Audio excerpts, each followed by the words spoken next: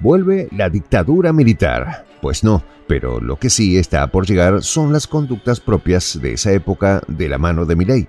Y es que ante la cantidad de personas que quieren manifestarse debido a las medidas económicas, el gobierno argentino ha optado por la represión.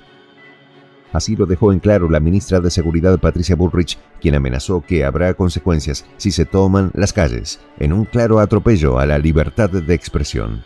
¿A qué le teme Milei y su gobierno? Los detalles a continuación.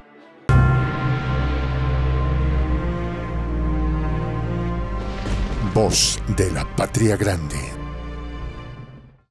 En un despliegue de autoritarismo inquietante, la ministra de Seguridad argentina Patricia Bullrich anunció medidas draconianas en el cuarto día del gobierno de Javier Milei, emitiendo una advertencia que resonó con tintes amenazantes. Las calles no se toman. Si se toman, van a haber consecuencias. Vamos a ordenar el país para que la gente pueda vivir en paz, así dijo. Un eco inquietante de una retórica que evoca épocas sombrías de la dictadura de Videla. Las medidas propuestas para hacer frente a las manifestaciones y piquetes revelan una inclinación autoritaria, con la autorización para que todas las fuerzas federales actúen con la misma fuerza necesaria y suficiente, un concepto que deja margen para interpretaciones peligrosas la posibilidad de requisición de materiales para manifestaciones, como palos, y las revisiones de identidad de personas encapuchadas surgen un Estado dispuesto a reprimir disidencias bajo el pretexto de mantener el orden. Burrich, con su anuncio de sanciones para quienes lleven niños a marchas, plantea interrogantes sobre la proporcionalidad y la sensibilidad humanitaria en las decisiones del gobierno de Milei. La acusación de utilizar a los niños como escudos suena más a manipulación emocional que a un análisis fundamentado de la realidad. Resulta inquietante la manera en que Bullrich pretende cargar los costos de los operativos de seguridad a las organizaciones o individuos responsables, un enfoque que sugiere un distanciamiento del Estado de su responsabilidad fundamental de proteger los derechos y la seguridad de todos los ciudadanos. Comparar estas medidas con el salvajismo de la ex dictadura de Videla es inevitable la esencia autoritaria y la disposición a restringir las libertades individuales generan preocupaciones sobre la dirección que el gobierno de Milei podría tomar, recordando a los argentinos épocas que esperaban no volver a vivir. En un tono contundente, el gobierno de Milei lanzó una advertencia a aquellos que participen en piquetes y manifestaciones, dejando claro que el que corta la calle no cobra ayudas sociales. Esta declaración, más que una simple comunicación, es un intento de manipulación.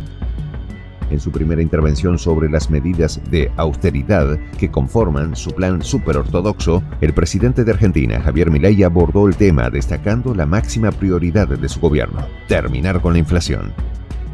En una transmisión en vivo desde el despacho presidencial a través de las redes sociales, Milei anunció un sorteo para entregar su último sueldo como parlamentario, emulando una práctica que llevó a cabo durante sus dos años en el cargo estamos totalmente abocados en terminar con la inflación, terminar la hiper. De ahí que hicimos un programa súper ortodoxo para terminar con el déficit fiscal y llevar el déficit financiero a cero, dijo el mandatario, resaltando su enfoque en la estabilidad económica. Sin embargo, la presentación del plan y la focalización de la austeridad generan cuestionamientos. La declaración de estar totalmente abocados en terminar con la inflación suena más a un eslogan político que a una estrategia concreta. La propuesta de un programa súper ortodoxo para eliminar el déficit fiscal y llevar el déficit financiero a cero plantea interrogantes sobre las posibles implicaciones sociales y económicas de estas medidas. La crítica se intensifica al observar el énfasis en la austeridad sin un análisis profundo de las causas subyacentes de la inflación y las posibles consecuencias para los ciudadanos comunes. Estamos totalmente abocados a terminar con la inflación. Podría ser un objetivo noble, pero la falta de detalles sobre cómo se logrará suscita preocupaciones. De igual manera, el sorteo de su sueldo en estos dos años, aunque simbólico, parece ser un gesto mediático que busca popularidad que una solución efectiva para los desafíos económicos del país.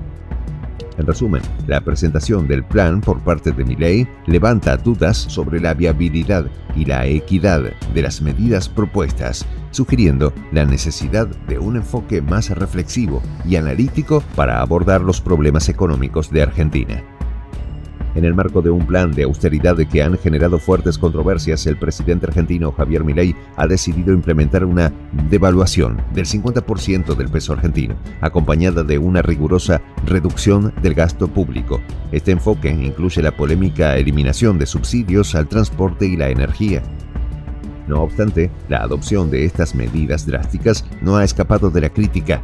La devaluación del peso argentino en un 50% plantea serias preocupaciones sobre el impacto económico y social, especialmente para aquellos ciudadanos cuyos ingresos dependen de una moneda ahora más debilitada. En un intento de justificar estas decisiones, Milley ha destacado que su máxima prioridad es poner fin a la hiperinflación citando cifras alarmantes que señalan un aumento diario del 1% equivalente a una inflación anual del 3,678%. Sin embargo, estas proyecciones extremas generan escepticismo sobre la viabilidad y la efectividad de las políticas propuestas. A pesar de afirmar que las medidas tributarias serán transitorias, la falta de claridad sobre la duración y el impacto real de estas medidas deja espacio para la incertidumbre. El enorme esfuerzo mencionado por el mandatario podría traducirse en una carga adicional para la población sin una visión clara de cómo se mitigarán los efectos negativos. Adicionalmente, se suma a estas preocupaciones la sombra de posibles medidas represivas contra los manifestantes, con el gobierno advirtiendo a aquellos que participen en protestas que el que corta la calle no cobra ayuda social. Este enfoque, más allá de sus intenciones declaradas, plantea serias interrogantes sobre la protección de los derechos civiles y la libertad de expresión en el país, además también de un poco claro futuro de las personas que dependían de estas ayudas sociales. En conclusión, el plan de austeridad liderado por Milei suscita preocupaciones significativas en cuanto a su efectividad, equidad y transparencia. La necesidad de un enfoque más reflexivo y considerado se hace evidente, especialmente cuando se trata de medidas que impactarán directamente en la vida de la población. Por último, resulta inquietante observar cómo las medidas de austeridad propuestas por el gobierno de Milei no solo generan incertidumbre económica, sino que también están teñidas por un enfoque represivo hacia los manifestantes disidentes, algo que parece sacado de los oscuros tiempos de Videla. Soy el J, Juan José del Castillo, director del canal Prensa Alternativa. Si quieres ser parte de la comunidad de la Patria Grande, suscríbete a nuestro canal. Si es que quieres que te lleguen las notificaciones cada vez que subimos un video, activa la campanita. Si quieres apoyar a nuestro canal económicamente, puedes hacerlo a través de PayPal. El enlace está en la descripción del video.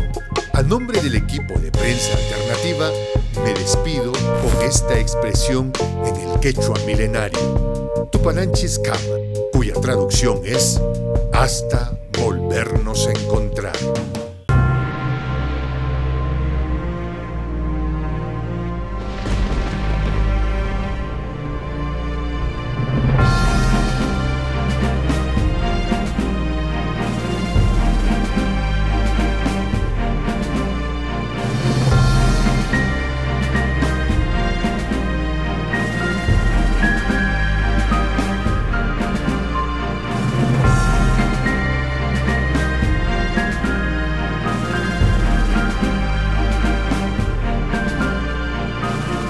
De la Patria Grande.